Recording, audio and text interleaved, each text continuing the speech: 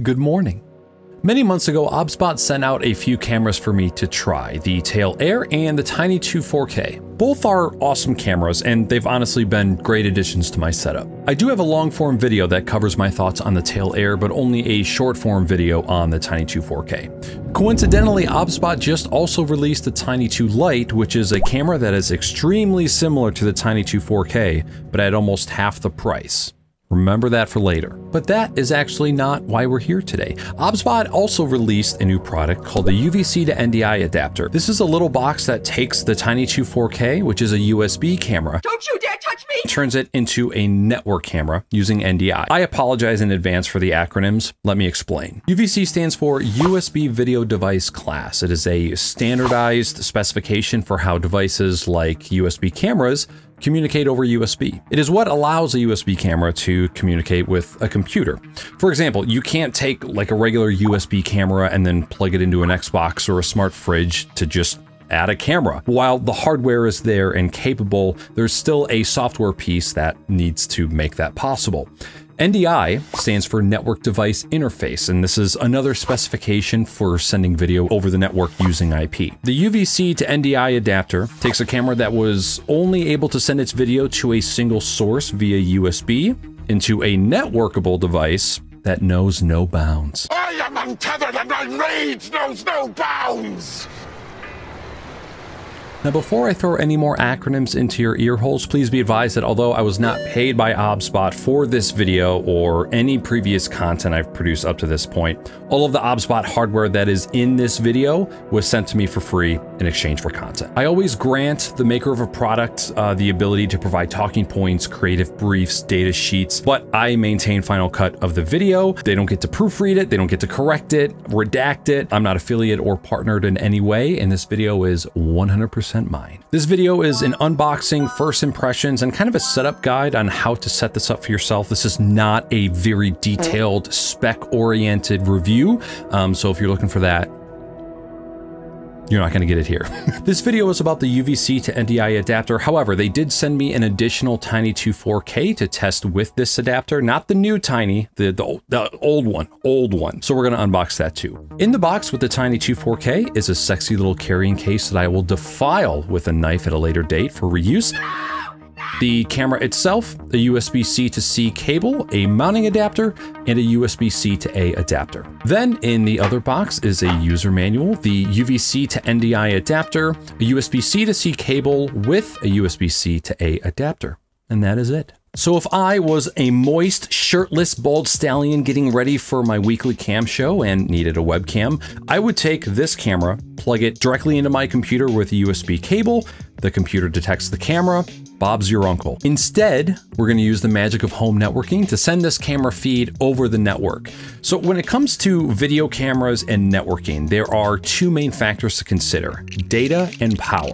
If you have ever purchased a Wi-Fi security camera for your house, you've set up both of these already. The camera plugs into the wall outlet, usually via USB cable and an adapter for power and then you connect the camera to your wireless network, which is an invisible digital vessel for your data to travel in, and the wireless aspect is like the convenience of connecting the data.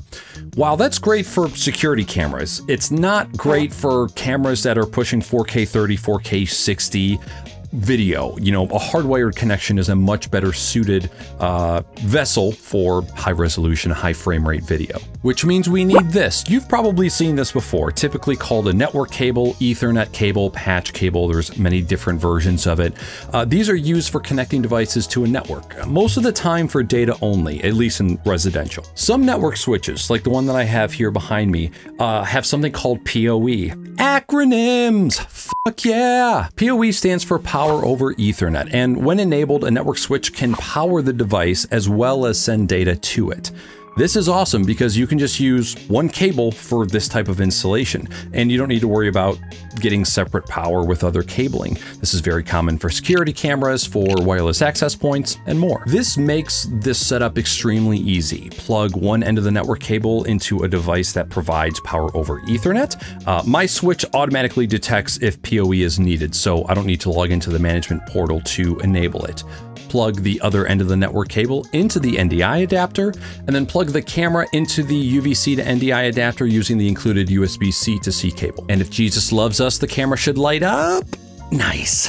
Now that the camera was powered on, it was now time to see if it was alive and if the feed was even working. My first instinct was to load up OBS Studio, as I knew that I had some sort of NDI plugin installed. For whatever reason, it didn't find an NDI source on the network, and that's when I kind of started to remember that the old NDI plugin for OBS was possibly depreciated. Uh, so then I just opened up the dedicated app, NDI Studio Monitor, which is a free application that comes from the NDI Tools 5 suite. Within that app, I checked the list of active NDI feeds, and there it was. I started to do a clap test to see what the latency was like, and I completely forgot that this was an AI pan tilt zoom camera with gesture control, so it started moving all over the place, which then I got distracted and I just started playing with for the next five minutes. Sweet. So the camera is plugged into the same switch as the recording PC that it was sending the feed to. So let's do another test. I'm gonna move the NDI adapter out to the workshop where I have another Tiny 2 4K setup. I've actually already have this here because it's how I monitor my two 3D printers and the AMS.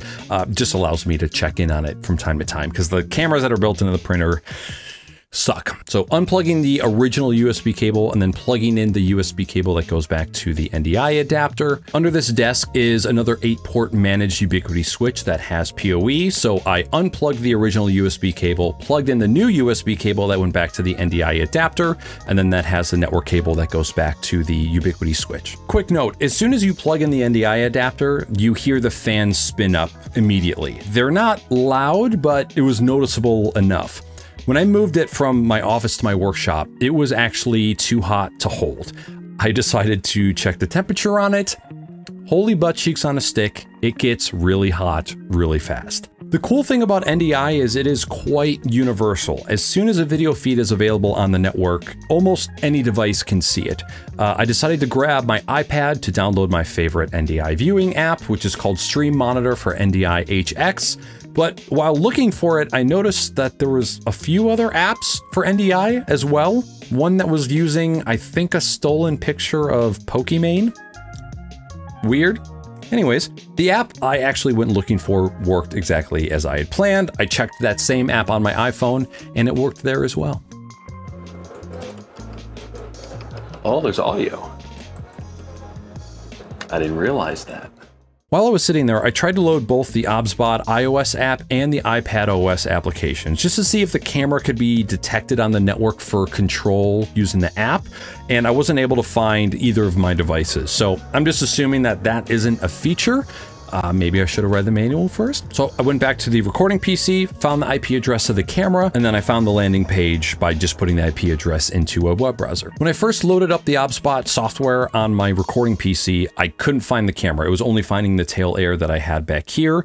And then within like the next minute or so, it automatically found it, but I couldn't control all of the things that I normally would be able to control from the app. So I resorted back to the manual, found that using the landing page was one of the preferred ways to go about it, and then boom, the control interface for the camera lit right up. What are you doing? All right, flash a titty. Quick note, there are default credentials for accessing this camera over the network. It is admin and admin, both with capital A's, just to let you know. Once I got in, I was able to control all aspects of the camera, even though it was 150 feet away in another room. Honestly, up until this point, quite the seamless experience. Could have been even more seamless had I read the manual first, but I'll never do it. A few thoughts on this setup as we wrap this up. Earlier in the video, I said this, but at almost half the price. Remember that for later. The Tiny 2 4K is $320. The NDI adapter is $300. If you want to use the PoE feature, you need to have a beefy networking switch ready to go that has power over Ethernet, or else you need to find a different way to power this, and that might be more money. With tax, you're looking at well over $600 US for a single network camera. That is a lot. However, now that the Tiny 2 Lite is here, which is a camera with very similar specs to the Tiny 2 4K, that's only $180, so paired with the NDI adapter, that is coming out to about $478 US. Again, that is still a lot of money for a single network camera. Now, it is a 4K pan tilt zoom network camera, so you need to consider what exactly you need out of this setup. And I also just learned during this edit that you can pair the remote control with the NDI adapter and then just use a remote to control that. Throw that in, you're at $527. All that to say, I'm gonna need more time with testing before I start recommending this kind of setup, but I love the functionality of turning a USB camera into a network camera, and I hope this trend continues into the future.